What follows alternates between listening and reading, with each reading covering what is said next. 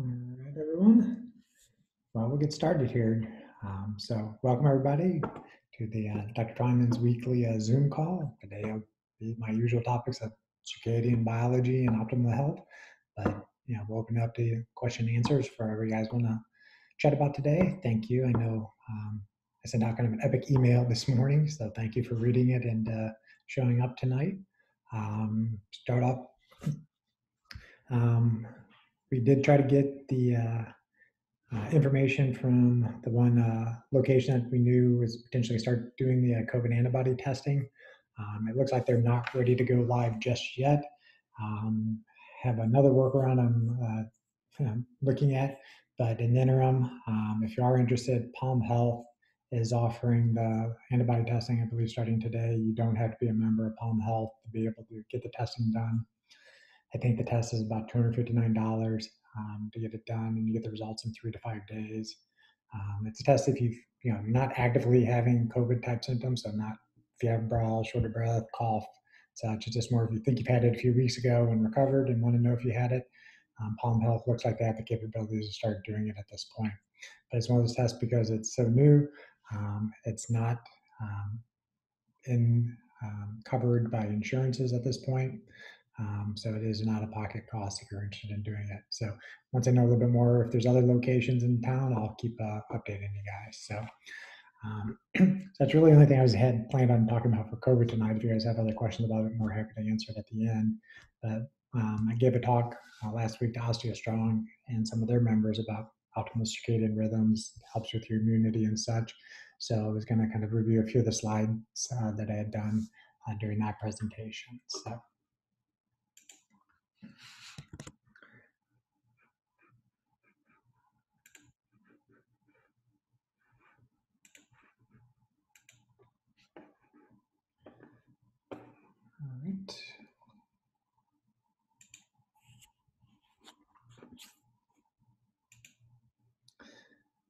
So I won't go through the whole whole thing, but I'll uh, um, give you the, the highlights. So, you know, as you guys know, I frequently talk about blue light hazards and red light and sunlight and circadian rhythms, but uh, this was kind of a, a, new presentation I put together for them because I want to know a little bit about, you know, when was the optimal time to work out, and optimal time to, you know, take certain supplements and such. So um, I kind of put this together for them. So circadian basically is a uh, around dia is day, so around a day, so 24 hour cycle.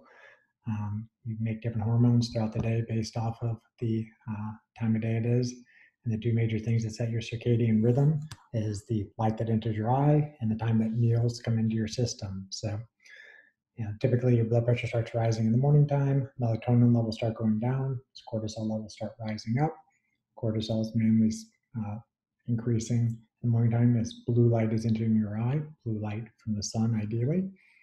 Um, approximately within an hour of waking up and eating, you should be uh, moving your GI system. If you don't move your GI system within an hour or so, that's usually a marker that your circadian rhythms are uh, not in balance. Then uh, there's the timing of day for exercise. You know, you can exercise any time of day that you want, but if you want to be as fast as possible, that's going to be mid afternoon, and strong as possible, it's going to be late in the evening. So I know some Olympic uh, records are set in those time frames. Um, and then your blood pressure should start decreasing, you know, as you're going to sleep, um, and as your temperature also should be going down. So I frequently recommend this book to people if they want to know more about circadian rhythms. Dr. Panda wrote this book. Um, yes, talks a little bit about how the light enters the eye. Well, I'll go through that again. Um, but his book also mainly touches upon the time restricted eating components of the time of day that the nutrients come in. So ideally 12 hours or less. So light enters your eye, hits the back of the eye. There's a receptor in there that uh, senses different wavelengths of light. Gets transmitted to what's known as the suprachiasmatic nucleus. Basically, it's a part of the brain that's like the master clock, and then it talks to the rest of the, the clocks in the system. So this was a rainbow, uh, just to demonstrate the different uh, wavelengths of light. Uh, this was a year or so ago in Puerto Rico. It was actually a double rainbow. It's a little bit faint to show up on this part here, but but that's just to show you that you know there's a visible spectrum of light, and then there's stuff that you can't see, but your body still gets um, interacted with. So on one side of it, it's going to be the gamma rays and the X-rays pass right straight through you, and can be um, mutagenic and um, also cause some issues with your DNA getting broken. Um, so you don't want to be exposed to gamma rays and X-rays long term. Then you have the color spectrum that you can see, the violet, blue, then kind of green, yellow, red, and then the infrared. Infrared you can think of mostly as heat, and you get into the uh, the radio waves. So sometimes I use the analogy of you know wavelengths matter because FM and AM are different. For those who still remember uh, those type of radios, um, you know if you dial in something on the FM station, you're not going to hear an AM station, and so your body is that same way. Certain uh, receptors, especially in the mitochondria, are listening to certain wavelengths. So if you put in the wrong wavelengths, they don't listen to that message. So this is just a uh, diagram of how different wavelengths of sun hit your body throughout the day. In the morning time, there's no UV radiation, so you're not going to get burnt. You're not going to injure your eyes. Amazingly, have this visible light and infrared light heat. And then by midday, you get UVA radiation, UVB radiation. UVB goes away, UVA goes away, and then you're back to just visible and infrared light.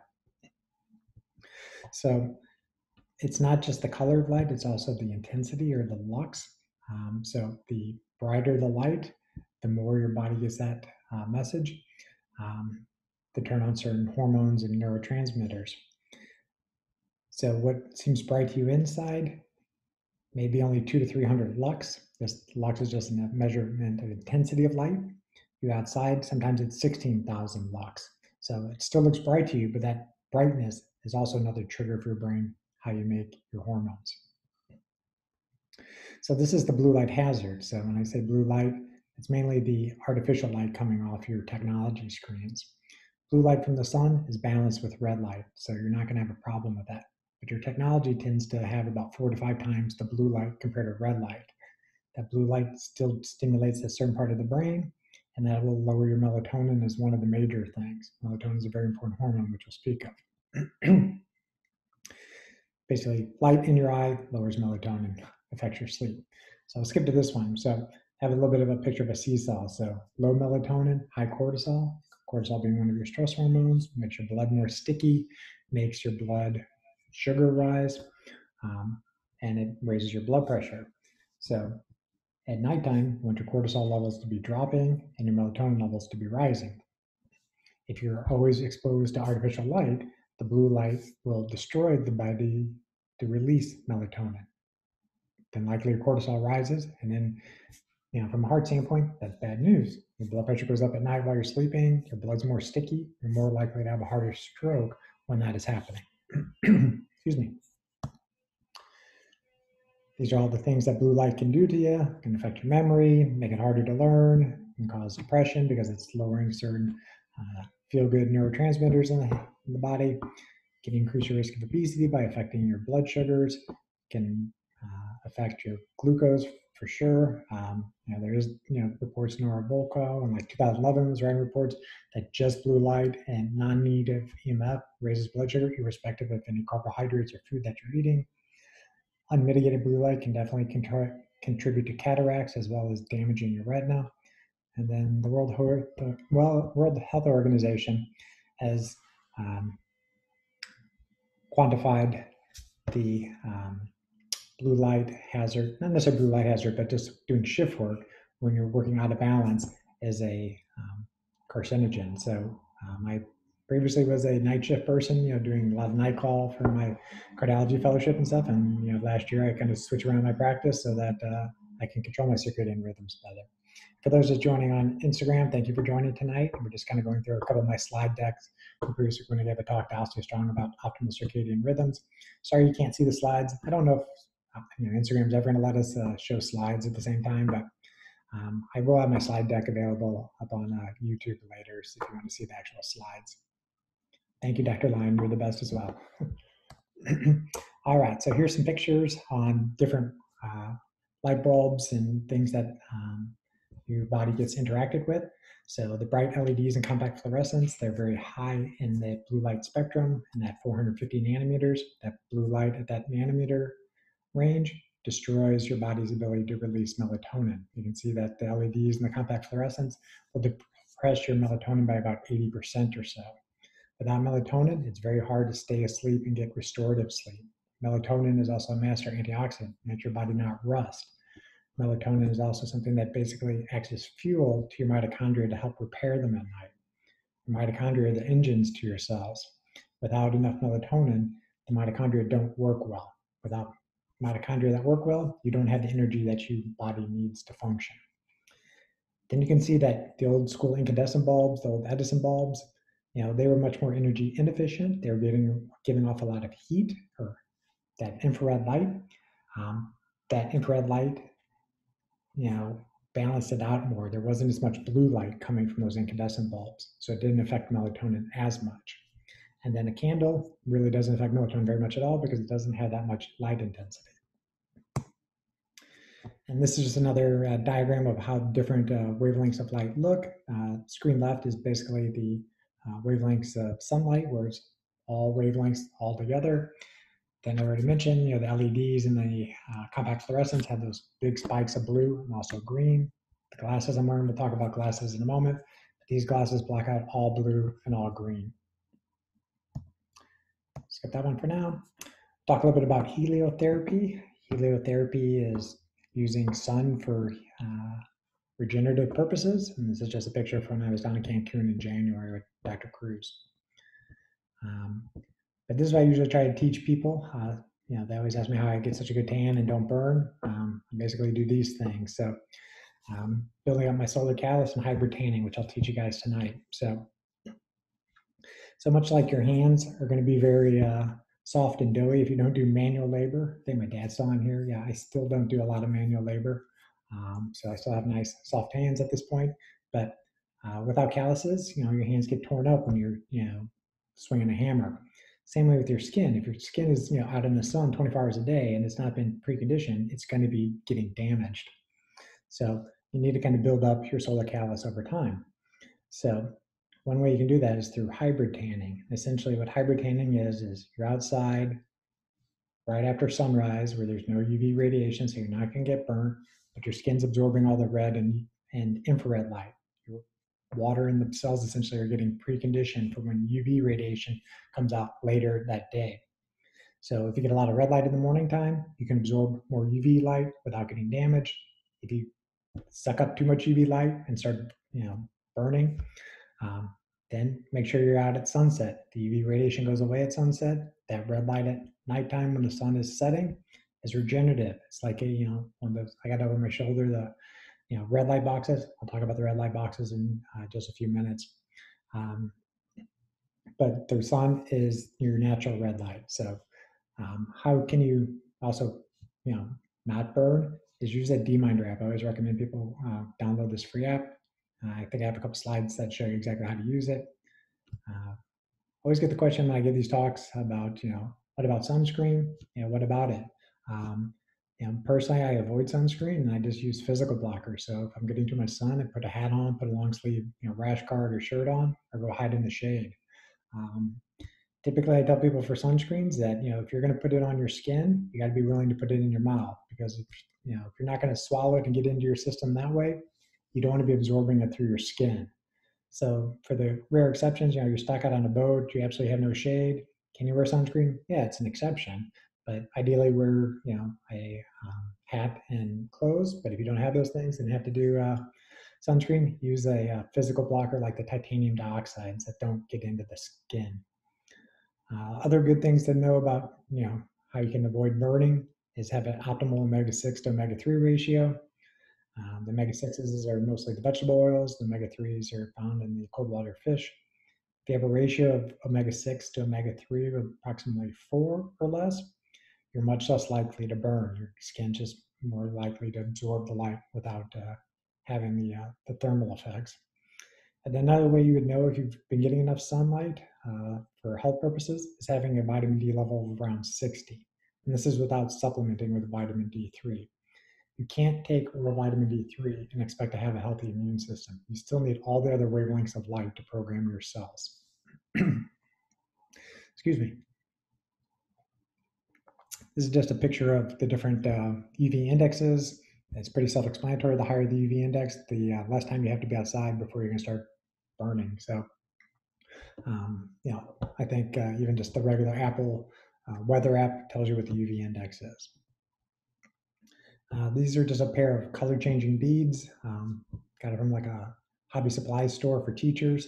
Uh, these beads change color from white to purple um, whenever there's UV radiation present. So I just made a little bracelet that uh, when I was down in Puerto Rico in February, anytime you're outside, if it turned to purple, you knew the UV radiation was out. So, you know, start the clock and then, you know, get into the shade. And once they're back to white, you know you're not going to burn. Uh, this is just the, the screenshot of what the DMinder app looks like. This is the uh, um, the free version. The paid version has a couple other features, but you can get by with the free version. But essentially, you just uh, fire up the app. It knows where you're at from the GPS, and it'll tell you what time of day that the sun's going to be high enough in the sky that you can start making vitamin D on your skin. Your skin is a basically a solar panel. The more skin in the game, the more vitamin D that you can make. And at least in St. Louis, there's about two months out of the year that you can make no vitamin D, no matter how much skin is exposed. So this will help you track your vitamin D exposure. You basically tell it how much skin is exposed, how much cloud cover there is. Yes, even if it's cloudy, some UV radiation will still probably get through the atmosphere, not as much. Um, it's still beneficial to be outside in the sunlight, even if there's clouds. But you can see on these apps that, you know, at least this one, I think this was in LA, the example, this person was making 2,600 uh, IUs in 16 minutes um, and 162 units a minute. So even if you're popping vitamin D in at a thousand units a day, 5,000 units a day, you can see just being outside 30 minutes a day or so, you're going to make enough vitamin D on your skin. But you got to put the skin in the game. Sleep, you know, you guys have heard me talk about sleep before, so I'm just going to hit upon the highlights of this. Um, you know, if you want me to do another full-on sleep lecture, I'll do that again another week. But I always talk about the sleep sanctuary, the sleep cave, dark, cool, quiet, minimize your tech. If you know what this is about, you know what this is about, but have a blackout curtain, uh, cut down on the light in your bedroom so that you can't see your hand in front of your face. Uh, if you're really a hardcore biohacker and you can't get your room cold enough, um, you can get a, a chili pad that sits on the top of your bed, puts this filtered distilled water through the bed, and you can dial in different temperatures so that if you want it absolutely freezing on your side, but your bed partner doesn't want it uh, 55 degrees, which is extremely cold to sleep at, um, you can dial it up at a higher degree. I think it goes up to like 105 degrees. Uh, no Wi-Fi. Um, I told you guys many times I shut my Wi-Fi off at night. I have the Wi-Fi router plugged into a strip that has a light on it. Um, if the light's on, I know the Wi-Fi is on. So if you shut off the Wi-Fi, you know, basically you know, there's no harm in turning off your Wi-Fi at night, and there's some theoretical benefit. So if you think of your mitochondria as something that is sensing the environment all the time, Wi-Fi is just a different type of light that is in the environment, just light that you can't see with your eyes, but your body can still sense it. And if you're sleeping right by your Wi-Fi router, it may act somewhat as a radar jammer to your cells while they're trying to sense the environment. So I've seen previous case reports of it, and I've had one patient it actually happened to that would have nightmares. The second they shut off the Wi-Fi, the nightmares went away. Um, I can't tell you exactly how that works, but um, I'm sure it's having some effect on you know, calcium gates in the brain. But um, but it's just a simple fact. You know, if you're not sleeping well, minimize your technology in the room. One easy thing is shut off your Wi-Fi at night. The other thing is your devices, uh, your cell phones. Ideally, they're out of your bedroom, but if they got to be in your bedroom, keep them in airplane mode or if they, you know, if you're on call and you have to be able to be available be reachable, then as far away as possible from your uh, your head at night. So don't use it as your alarm clock. Um, if you're using it as your alarm clock, it needs to be in airplane mode. Um, there are uh, different software programs you can use to mitigate some of the blue light out of your devices. Um, you know, frequently I use on my computer Iris. It works a little bit better than Flux. It cuts down a little bit on the flicker effect more, but um, Flux, there's a free version of it on your iPhone or iPad. There's Night Shift. Night Shift is not sufficient. It's better than nothing, But if you don't um, have you know blue blockers, you know fine, throw on the night shift, but there's still some light getting through there that can affect your melatonin. So you don't want to be doing what this guy's doing in bed. You don't want to be sitting in bed with a dark room, the screen blasting your face with blue light. Um, on one of my phones, I don't have it with me right at this moment, but I actually have a physical blocker on it. It's like the old school uh, screen protectors. It's, um, it's yellow tinted. Got it from lowbluelights.com. I think it's about 15 bucks or so. But that uh, physical blocker um, allows you so that you don't need to have the software running 24 7 and you don't necessarily need to wear the glasses. So I used to have that on one of my phones when I was on call more. So if I got called more night, I could look at it without uh, zapping myself. And then, see, and then glasses. Um, these are um, more my nighttime glasses. Sometimes I'll wear these if I'm sitting in front of a computer and I have a phone going as well. Um, but typically I wear one or two sets. You know, I have my kind of day pair that block mostly just the, the very intense blue light, um, mostly coming from their technology. These ones block all that same wavelengths of blue light, but then they also block a lot of the green spectrum. That green spectrum can also affect melatonin. So if you really are having trouble with your sleeping, you probably need both pairs, um, and especially wearing these ones about an hour before your natural bedtime. You usually get pretty tired start wearing these, so you don't necessarily want to be wearing these ones 24 hours a day. Another thing is these are really like your quote indoor sunglasses. When you're outside in nature, you take these things off and let Mother Nature's sunlight enter your eyes. Then uh, photobiomodulation, low-level laser therapy. This is kind of one of my areas of uh, interest right now. Um, this is standing in front of two uh, full body panels. Um, there's multiple manufacturers of these things, but then again, quality matters. And we'll talk a little bit about some of the benefits of the red light therapy. And I'll probably do a, kind of a full on red light therapy talk for you guys in the near future. But um, think of the red light therapy as something that augments sunlight. The sun is always going to be able to do this, um, but red light can be used when it's more cloudy or in the evening time or when you're traveling and don't have access to you know good quality sun. Bust out of your red lights. And over my shoulder, I have a red light box going on just because somewhat balances the, the blue light that's coming from all these screens right now. So red light, the best way you can think of it is it's basically charging the batteries. It's helping the mitochondria work better through multiple different mechanisms. So it's mainly regenerative, so lowers inflammation, helps with joint pain, joint swelling. If you have underactive thyroid, hypothyroidism, sometimes this is due to um, it's due to something called Hashimoto's, where your body's making antibodies towards your thyroid. One of the thoughts that the antibodies might be being made is that you're sitting in front of one of these screens for eight hours a day, the light from your technology is penetrating your thyroid gland and affecting it. So anybody who has Hashimoto's, I frequently recommend buttoning up their shirt, wearing a scarf, doing something that protects their neck. But otherwise, you know, they can get one of these red light boxes and put in front of their neck 20 minutes a day. Definitely helps with athletic performance and cellular energy. It can also um, help you with just getting uh, recovered faster from injuries because it's lowering inflammation and swelling. Can help with testosterone production, but it's one of those things that uh, uh, the light has to get where you make your testosterone. So you can use your imagination and how you can boost your testosterone with one of these uh, red light boxes. It can help with skin health, um, mainly by making collagen um, work more effectively, so wrinkles go away. Can help with uh, gingivitis and gum issues, and there are laser devices, laser hats that help with hair loss. The red light basically stimulates the mitochondria in the hair follicles and starts causing the hair follicles to regrow. This is you know, a good picture of what a mitochondria looks like, and this is where about 80, 85% of the, uh, the chronic diseases start. So the better you treat your mitochondria, the better you tend to do.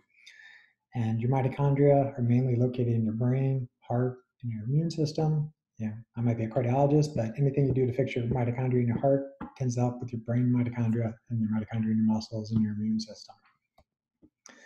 I won't go through the uh, the the, uh, the full-on uh, uh respiratory chain here, but uh, essentially the way you think of how red light works is that the light stimulates different um, proteins that are in this little respiratory chain, and it makes it, the little blue thing on the screen here it's called the ATPase. It looks like a top.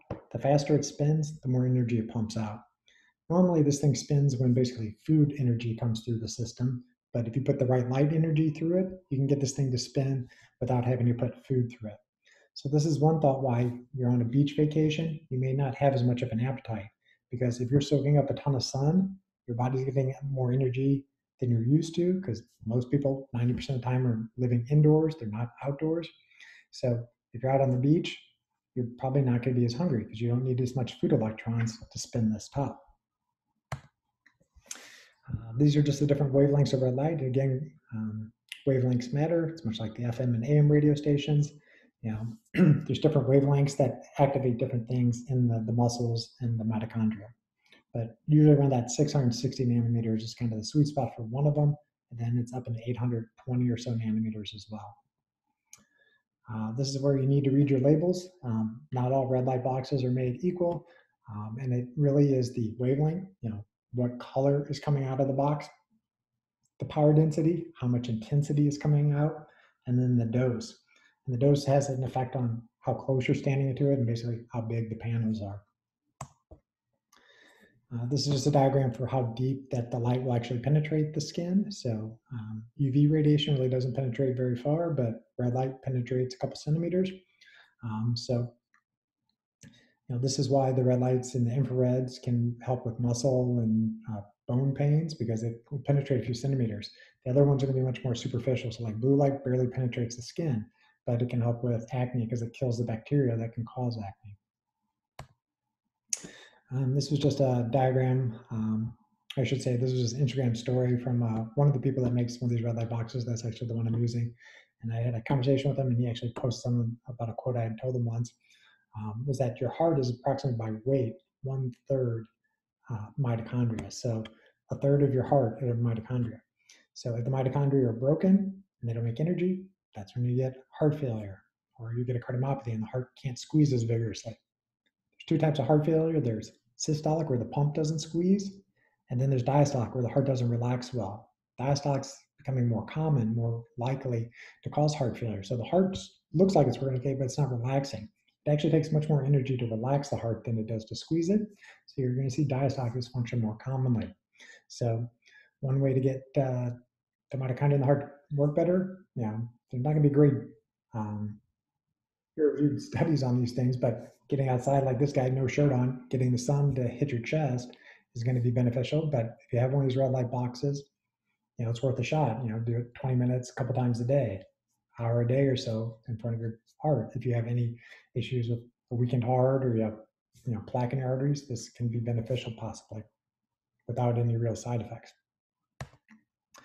Um, you guys sometimes see me previously wear the laser watch. I'm not currently wearing it, but the laser basically has different uh, settings and can basically put the light directly into your radial and your ulnar artery. And this is the uh, the most advanced way to get uh, sunlight, or I call it sunlight in a vein, but um, this is when I did some bright light uh, intravenous laser uh, a few weeks ago. Um, this isn't something you necessarily need if you're extremely healthy, but if you have an autoimmune condition or have a malignancy, this might be beneficial to your traditional treatments for those conditions. Um, there's a lot of research done in Russia in the 1980s on intravenous laser, mainly uh, red light laser, uh, in cardiovascular patients. It was lowering um, heart attack size, so less heart was getting damaged. It was helping with less uh, issues with the blood being sticky or clotting. So they had a lot of data on it, but because of the Cold War and the uh, language barriers, a lot of data never made it to the West up until just recently. And this was the heart rate variability. I've talked about this before, so I'm going to kind of hold off on going on with that part right now. So stop the sharing and then uh, see who's in the group here, and uh, um, I'll ask anybody have any questions. So, so that's it for the uh, presentation. So I know there's still a few people on the uh, Instagram watching, so I thank you guys for watching. I will put the video of this up on uh, YouTube later. My uh, YouTube channel is just um, Michael Twyman MD. You can just search that on um, Instagram, you'll find it. I'm sorry, on YouTube, you'll find it. Um, but I'm going to open up to questions. And so if you got any questions on Instagram, type them in. Or if you're on uh, my Zoom call here, you can type in the questions or you can um, unmute yourself and uh, speak, speak freely.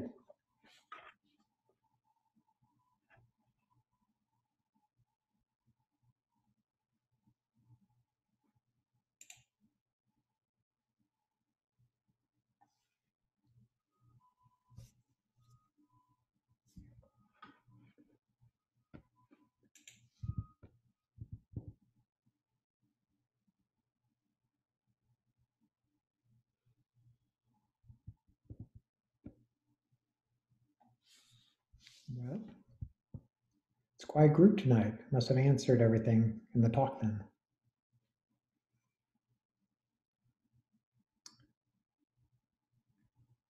Then we'll go off topic. So, whose hair is the longest so far since the uh, stay-at-home orders happened? I mean, mine's getting pretty long. I mean, I'm halfway to my nose. I mean, I remember uh, quite a while ago, I had my hair down past my chin, so I'm gonna see if I can get down that long again too.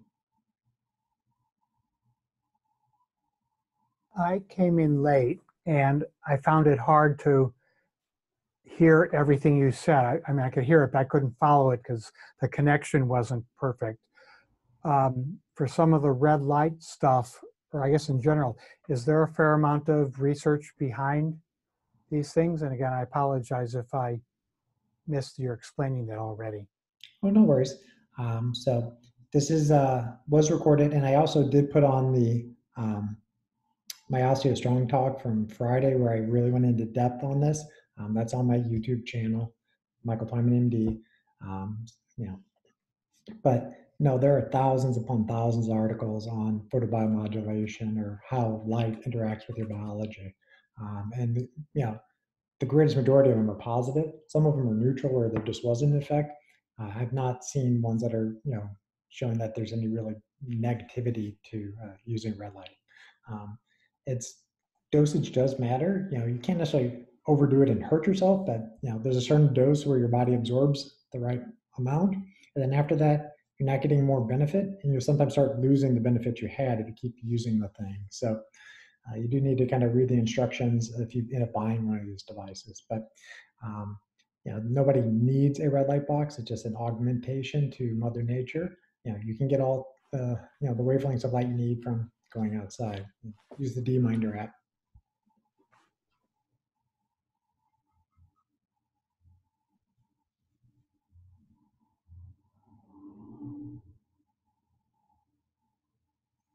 Uh, question about is there maximum time a day? Um, there's not a maximum time a day, but it really depends on what you're trying to treat and use.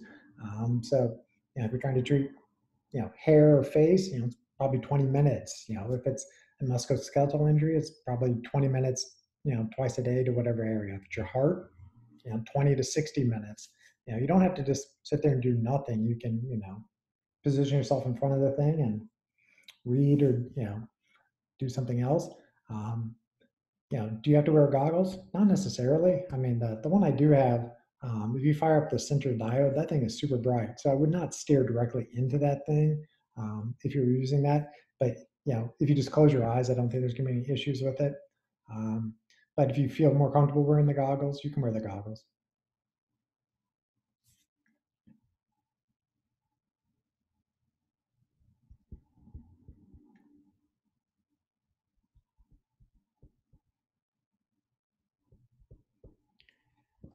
And does one have to purchase a machine or are there other places one can get access? And what do they cost if you purchase it? Good question. So you know, the question is, you know, there are a couple places that do have some of these red light uh, devices. Um, you know, most places are going to be kind of the the med spas and such. the, the OsteoStrong franchises have them. Um, you do have to be uh, generally a member of their franchise to be able to use their device. It's usually built into their monthly membership fee. There's probably some gyms that would have one as well. Um, but again, it's quality matters on these things. Um, so, you know, I have a EMR-TEK, um, EMR TK. Um, I don't get paid to recommend them. I just know that they make a quality device. Um, it depends on how big of a panel you want. You know, the smaller ones tend to be about three hundred dollars. If you get a full, you know, full body wall one, it's gonna be a thousand dollars. If you get the the NovoTHOR, which is like the Cadillac of red lights, it's a um, red light tanning bed essentially. It's about a hundred thousand dollars. So you know you can spend whatever your budget allows, but you know if you're just treating a small area, the three hundred dollar boxes tend to work for the majority of things.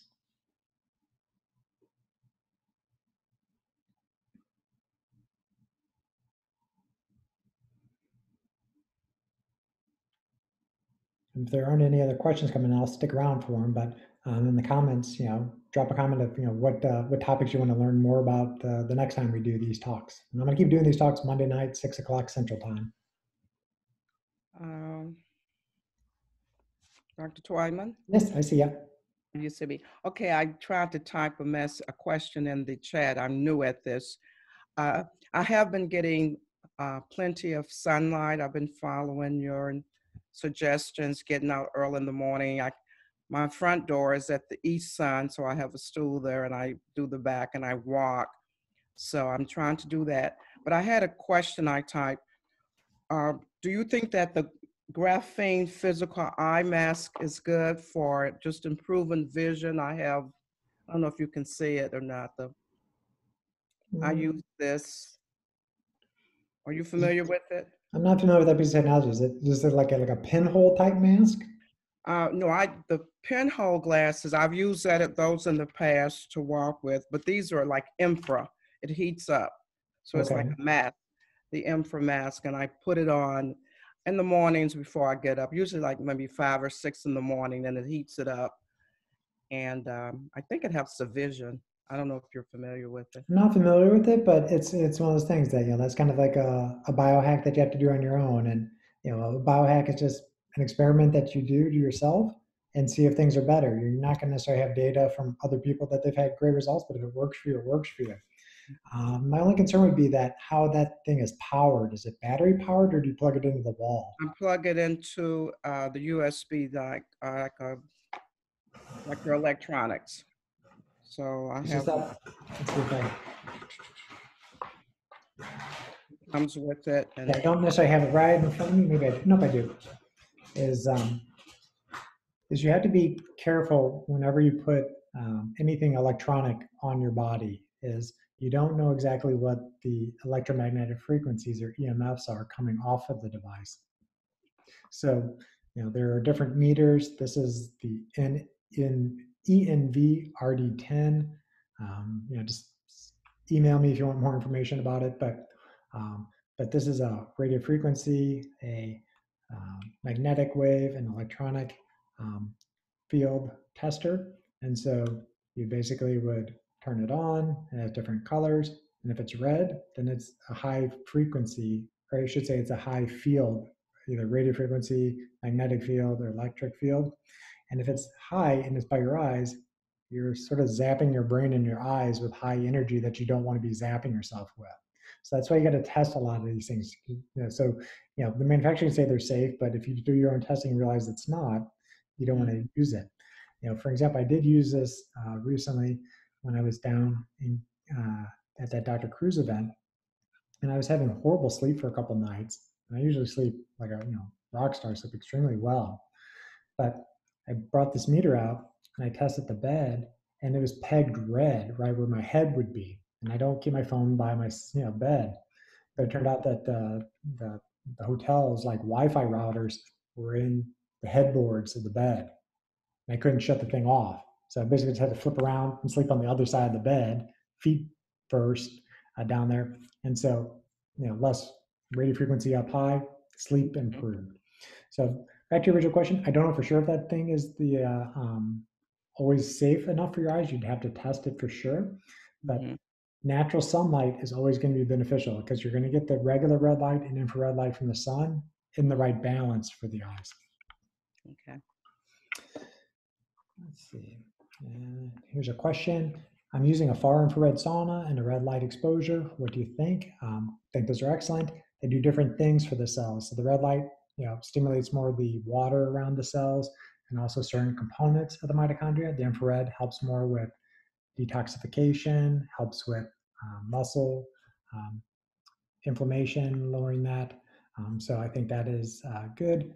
Uh, what does biohack mean? You know, um, you know, Dave Asprey's kind of the quote godfather of biohacking. He has his own definition, but my definition is, you know, you just replace the word biohacking with health optimization. So, what can you do to change your environment to improve your health? And basically, how can you do that without necessarily taking a bunch of pills and procedures to get that done? Uh, the EMF meter, this is the, I'll just type it in the uh, chat box. Um, I can't remember exactly where I got this one from. Um, you know, but if you just search for it on Google, there'll be a couple different places that make it, or maybe Amazon might even have it. Um, so it's the ENV RD10. That's a good portable one. I have more um, sensitive meters that do just RF and do just the magnetic, um, but they're bigger and bulkier, and so I don't like to travel with those ones. So that's a good uh, travel one.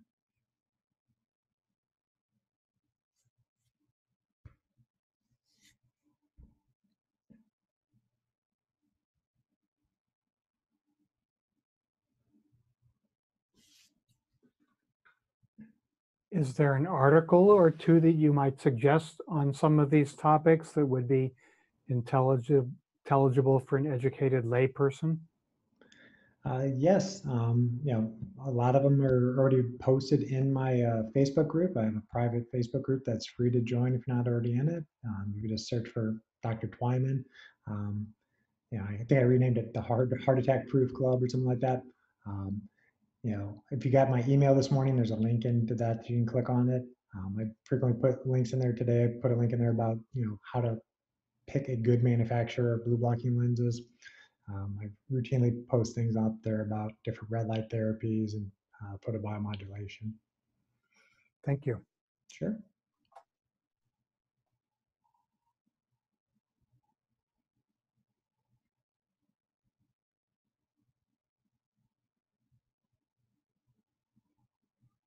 Let's see.